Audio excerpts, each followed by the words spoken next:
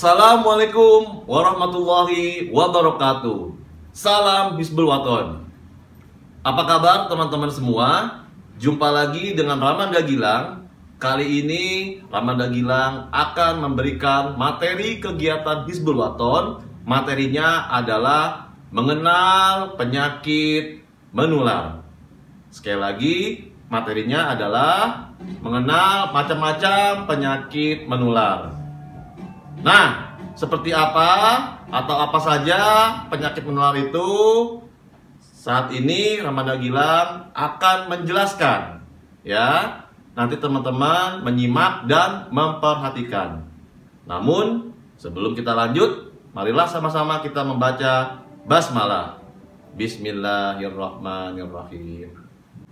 Oke teman-teman, seperti biasa, sebelum kita mulai materi, kita akan melakukan yang namanya tepuk tepukan terlebih dahulu.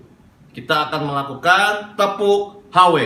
Teman-teman di rumah harus ikut ya, wajib mengikuti biar sebagai membakar semangat teman-teman semua. Oke? Tepuk HW. H W Yes Oke, itulah tepuk KW. Jadi teman-teman wajib melakukan tepuk KW sebelum kita melakukan materinya. Oke?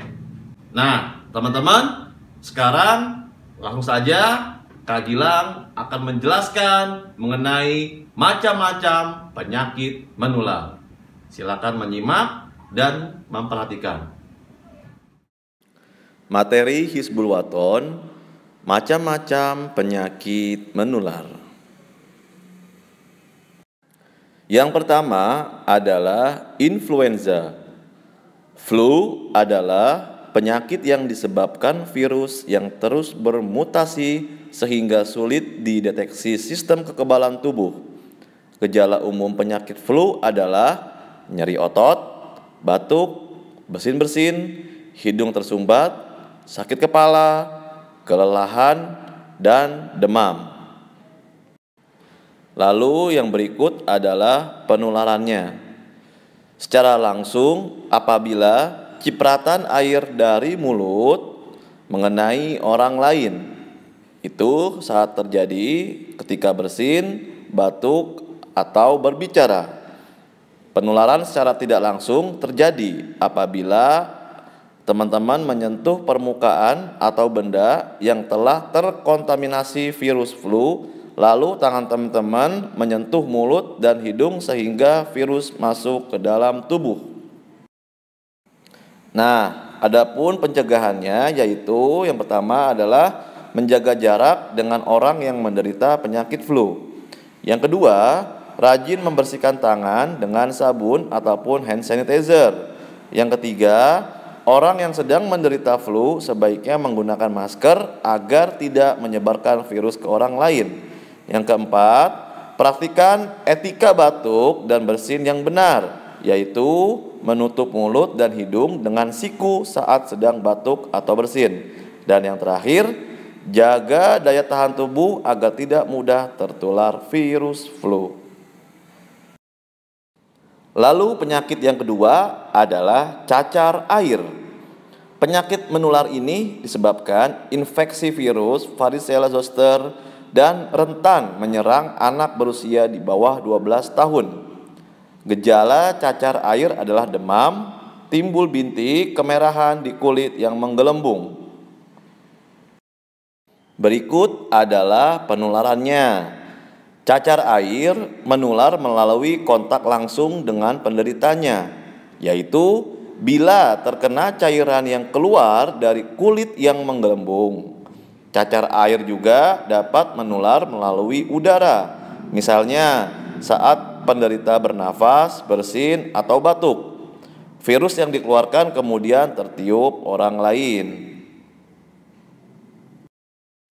Adapun pencegahannya sebagai berikut. Yang pertama, lakukan vaksinasi cacar air.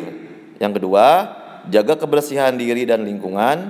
Yang ketiga, konsumsi makanan bergizi dan yang keempat, tidak berdekatan dengan penderita cacar air.